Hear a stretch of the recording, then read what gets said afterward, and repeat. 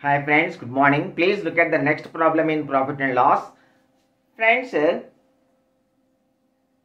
person by selling 33 meters of cloth, a person loses here, person loses, loses uh, cost price of 11 meters of cloth.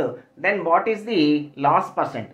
Friends, you know loss is given by cost price minus sold price. So the loss on selling 33 meters is given by 33 meters cost price minus 33 meters sold price is equal to loss on 33 meters. What is that given?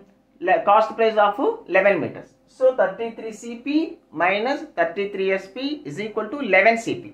It implies, it implies, see 33 SP, 33 SP is equal to 33 minus 11, 22 CP. So after arriving at this equation, say cost price always 100. Now 33 SP is equal to 22 into 100. SP is equal to 22 into 100 by 33.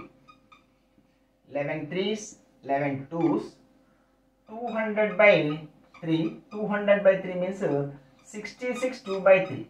66 uh, 2 by 3. See friends, see when cost price is 100, when cost price is 100, sold price is 66 2 by 3. That means uh, 33 1 by 3 percent loss. Loss is equal to 33 1 by 3 percent. 100 minus 66 2 by 3. Okay friends, thank you.